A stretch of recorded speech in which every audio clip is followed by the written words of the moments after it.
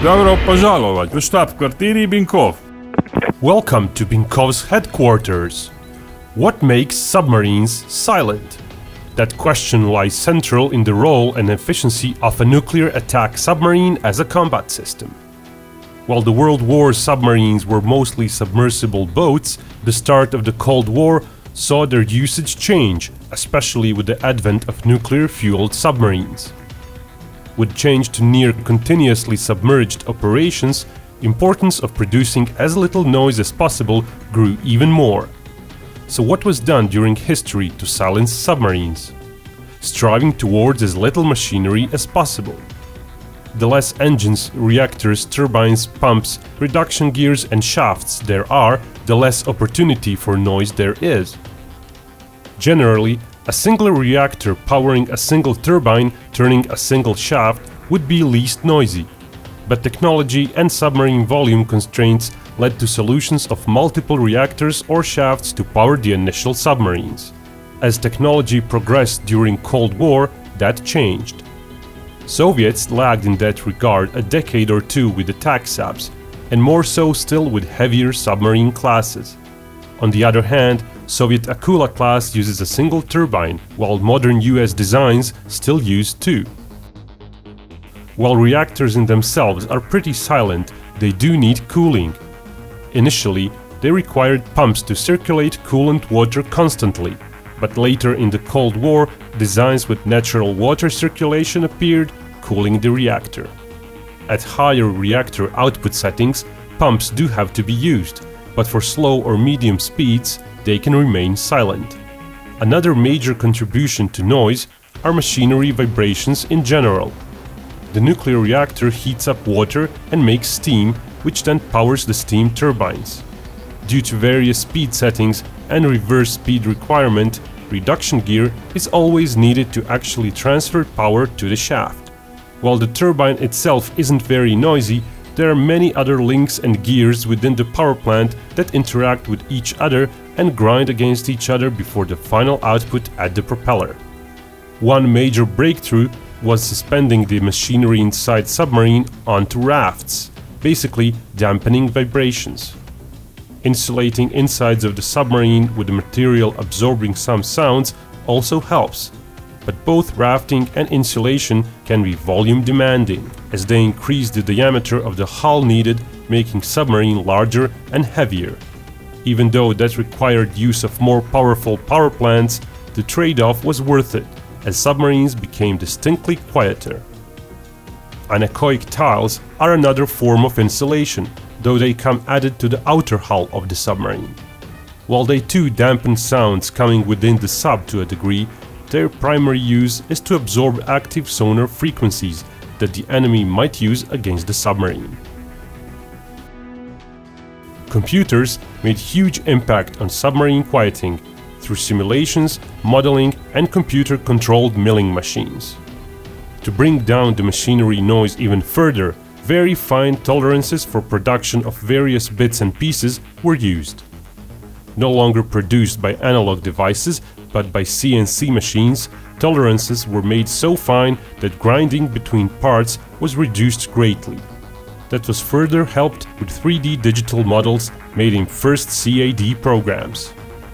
Moving on to external noise sources. When water is forced to change direction, like by the turning propeller, cavitation can appear. It is formation of small waterless voids due to pressure differences. It can be a major noise source. Those voids then quickly implode, making noise in the process. The faster a screw turns, the more likely is more cavitation will occur. Slow-moving submarines are thus mostly free of cavitation, but moving faster is often a must. Propeller design is crucial to alleviate that problem. Another propeller issue is noise generated by the blades hitting the wake left by the control surfaces in front of them. The US, thanks to the precise computer models and simulations, managed to produce what's called a skewback propeller. It both solved the blade rate problem and lowered generated cavitation even at higher speeds. Before skewback use, Soviets had a semi-solution to the problem by using two small tandem screws on a single shaft. Drawback to skewback is the fact it is less efficient, leading to roughly 10% lower speeds.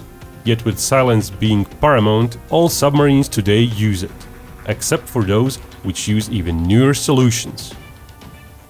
Most recent submarines use shrouded propulsors instead of screws. They also share some features with pump jet propulsors. They generate even less cavitation and they also prevent the generated noise to spread to the sides to some degree. Their drawbacks include higher mass and further reduced power, so they're not as efficient solution on power-constrained vessels, like diesel submarines. Another way of dealing with cavitation is managing the submarine's cruise. The deeper it goes, the less cavitation will occur. That is because higher environment pressure can delay cavitation from occurring at speeds that would otherwise create cavitation closer to the surface. One area where certain Soviet submarines were ahead of NATO ones was depths they were designed for. While Soviets lagged in overall silencing of their vessels, they could somewhat compensate for that by going deeper at times. But submarine doesn't always need to go very deep to manage noise. It can just go below the thermal layer in the ocean. Its depth changes with water temperature.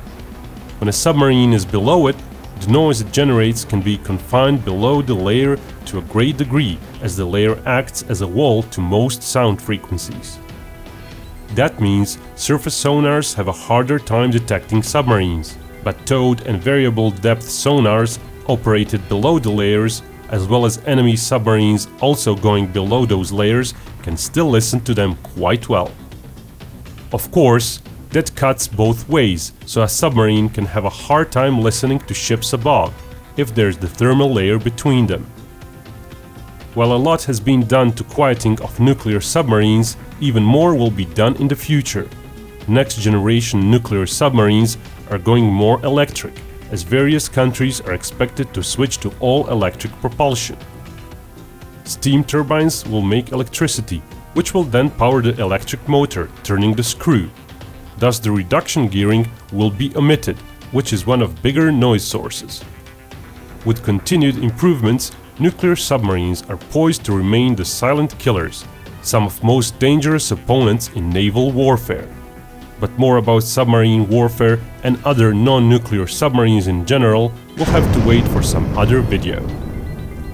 If you would like to know more about beginnings of submarine warfare, our friend over at Military History Visualized has a video on World War I and World War II submarine warfare. Check it out. As usual, feel free to subscribe, and if you really like my videos, you can support me via the above link through the Patreon crowdfunding website. And if you'd like to see a specific pair to be made into a video, hop over to my website using the link above.